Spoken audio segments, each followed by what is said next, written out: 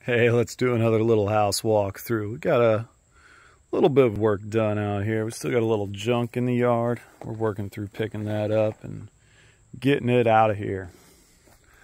Nobody cares about that. Let's go inside.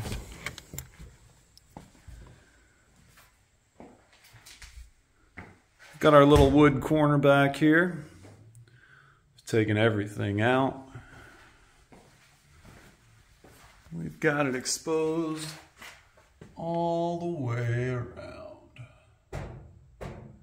So we've gone with an incredibly open design now. Now we get to fill it in. So here's our bathroom.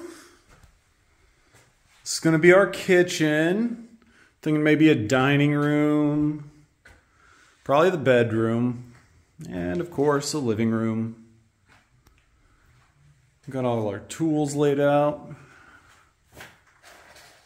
We've got all the demo done. We've still got to pull all these old wires out. But looking pretty good.